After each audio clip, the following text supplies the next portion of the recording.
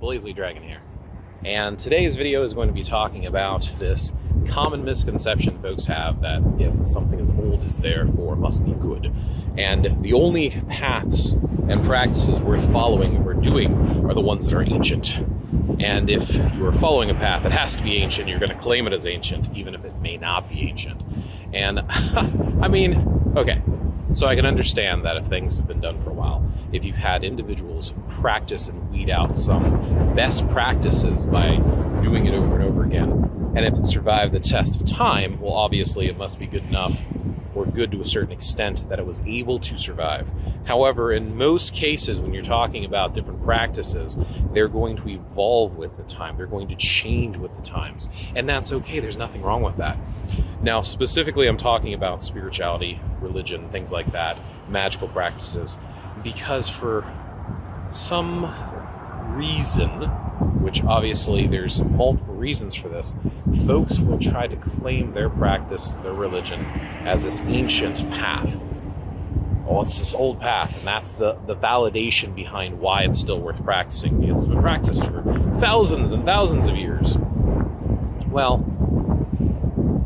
what is it that separates us today from those of ancient times? Uh, let's take a look at the fact that there were individuals who believed that the earth was flat. Let's take a look at individuals who believed as part of healing they needed to bleed out the bad blood out of you, and they would do things like leeching, etc., to remove the impurities.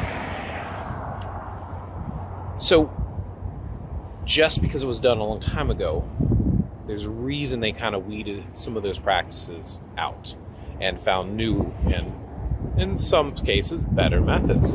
And you're talking about religion and spirituality, you're talking about a connection with the divine. So by studying spirituality and studying philosophy and developing a new path or a new way to look at things or a new spirituality, that's not a bad thing. That's actually kind of a good thing, in my opinion.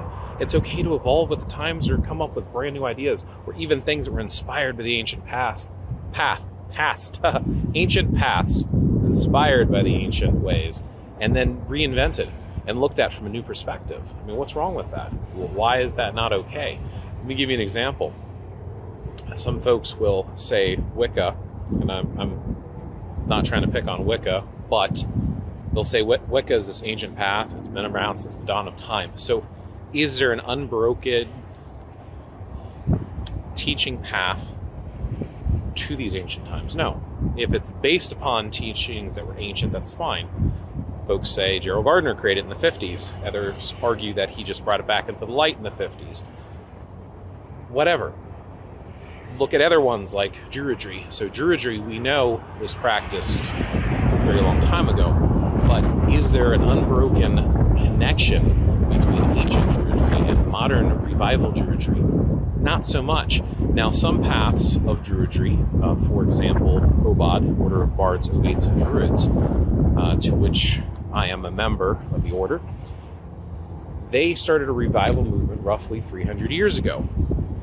And even with that, you're talking about individuals who tried to revive it and passed it on until it's become what it is today. And it continues to grow and evolve and change with the times. Modern Druidry is not ancient Druidry, and that's okay. That doesn't make it less powerful or less potent when you look at these folks from way back in the day, these ancient practices, you were limited to your ability to learn things or be exposed to things based upon your culture, your tribe, your city, the people directly around you. You know, they didn't have email or the internet. And I'm not saying just because we have email and the internet makes it all of a sudden, hey, we're so much smarter because we look it up online. You know, hey, Google it. Know, we're going to get all the answers. No, but it at least gives you exposure to consider new things, to research new things. You can order books. You can look at videos of folks talking. You can read different authors or look at different spiritualities and practices and paths. Maybe you can study with a guru or a sage or a wise one of a different path or spirituality and be inspired to create your own path,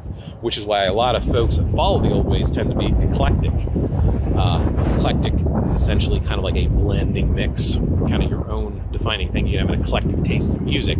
So, spirituality, an eclectic taste in spirituality, or an eclectic path. The wind's blowing my phone all around, sorry you can have an eclectic path where you take little pieces of different paths. Now, some folks, of course, will argue with this and they are purists and they want to follow only one form, and that's fine too. You know, you got to find what works for you.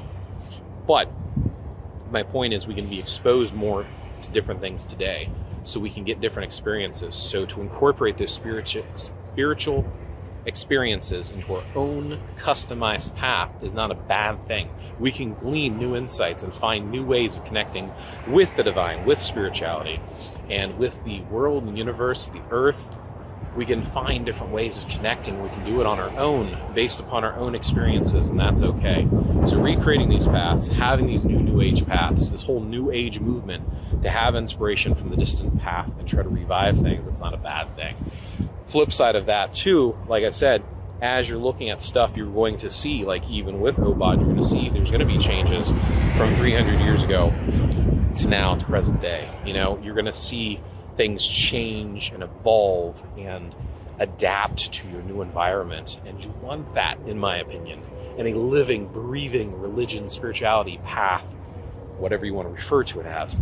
Same thing with magical practices and stuff. You know, there was actually a very uh, interesting book uh, that I never finished reading, but it was called Urban Primitive, and it was actually depicting gods and goddesses of the city. Like I remember one of the goddesses was one that would reserve parking spaces for you because they essentially would spiritually sit in that parking space so their cars didn't park there. Very interesting concept. And I think it's interesting to take that into consideration when you're working with the divine, gods, goddesses, to think of ways that the gods and goddesses may have grown with the times or adapted to our modern age. So, yeah, when you're thinking about your own path and your own spirituality, you're looking for guidance, you're looking for paths to follow, yes, there's stuff to read. But take into consideration there's plenty of stuff to read and plenty of paths and if you find yourself adapting your own spirituality, your own path, don't be discouraged. Don't think, oh, because it was something new that I essentially invented with inspiration from these other paths, it can't be good or valuable or something of substance. It can. It can absolutely be full of, su- of substance and enriching and endearing moments for yourself and your path, your seeking, your connection with the divine. So don't be discouraged take what you want, find what makes sense to you, and move forward. May your path be a fruitful one. So, yeah, thank you for watching this little video rant and stuff. And uh, yeah, I'm going to call it there and play to have a good day and see you again soon.